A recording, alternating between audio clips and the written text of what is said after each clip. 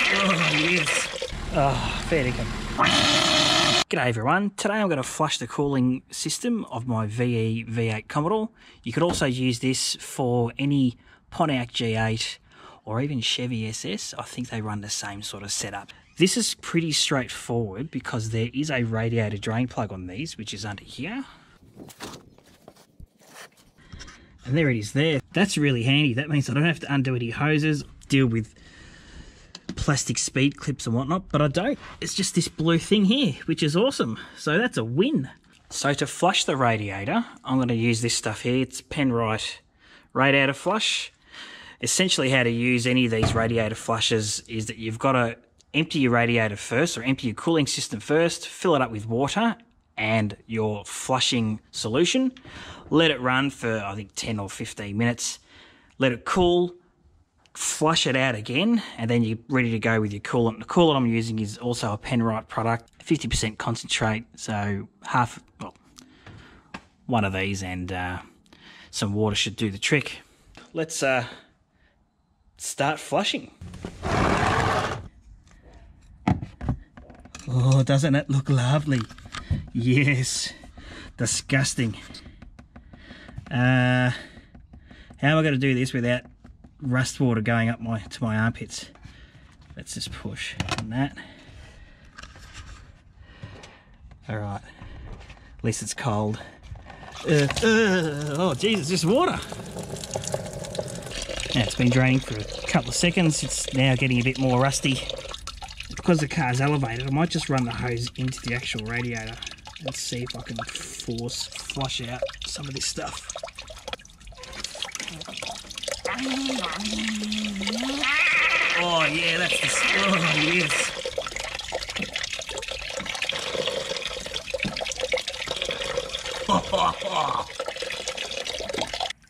what I'm going to do is going to do this up and then put the car back on the ground.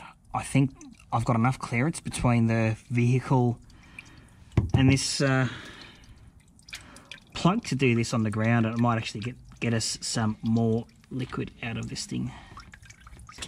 Yeah, now I can't even. Mm. That's better. That's warm, so that's now out of the block. What we'll do now is we'll plug her up, put the flusher in, and let it run for the prescribed time and see what happens. Okay, now it's your time to shine. One bottle does up to 15 litres.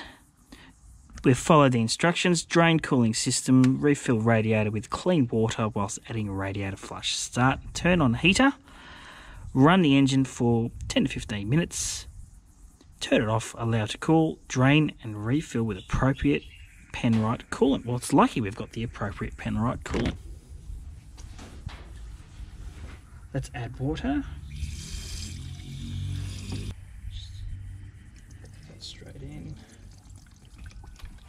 So this stuff is designed to just remove like uh, rust and scale and deposits and things like that.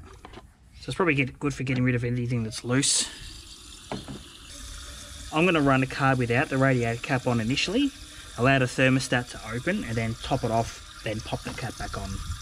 Uh, that way the system will pressurise and that stuff will circulate all the way through. Okay, that's topped off. Let's fire it up fire it up. And let's watch that rise to about uh, 100 and something. So it shouldn't take too long. Here we are, 90, 90 degrees. Coolant's dropped, thermostat's open. Let's grab the hose. Let it get to temperature. I might put a few, few revs through it. I've just switched the car around for two reasons. One, uh, better lighting. Two, that way, now that we're on a gradient like this, when I drain, hopefully everything that it's in the block will drain out as well so we get a nice even flush out of this thing. There we go. And they're off. Okay the car's cooled down enough so let's undo the drain plug and drain out this coolant flushing solution. Try and make minimal mess three two. Oh, yes. Lovely. And because we're on an angle now, everything from the block should be coming out as well. Okay, I've lost count of how many times I've actually done that and reflushed and flushed this thing through.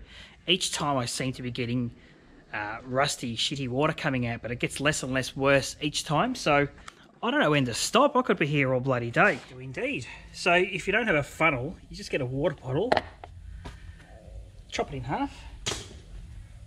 There you go. Look at that.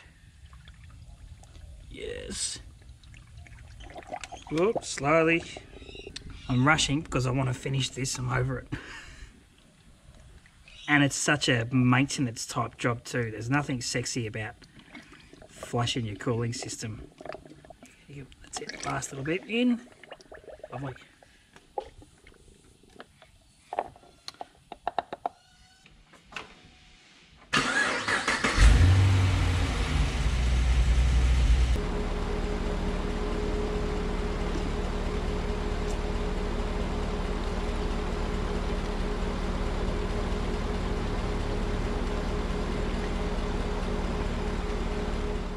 So that's it. Once you've pledged your system and got all your air pockets out of the radiator and block, put your cap on and you're done. Your cooling system's bled.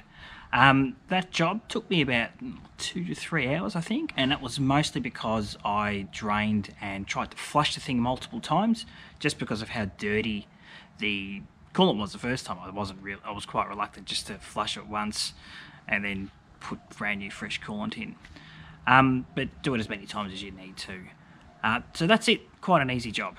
Now, for most people, that'd be the end of it. Put your cap back on, drive away, and you're done. Don't have to touch it. But for this thing, um, something happened straight after I bled the system and put the cap back on.